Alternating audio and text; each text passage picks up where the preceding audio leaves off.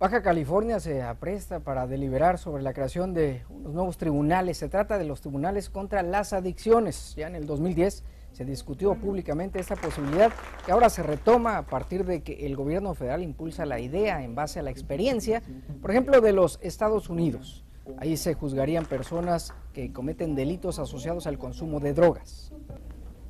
El tema es que eh, no lleguen a prisión siempre y cuando se sujeten a un tratamiento, un tratamiento que estará de alguna forma regulado por un juez. El tema fue puesto sobre la mesa hoy en un evento realizado en la Casa de la Cultura Jurídica, que depende de la Suprema Corte y en el que participaron directivos del sector salud y de las corporaciones policíacas.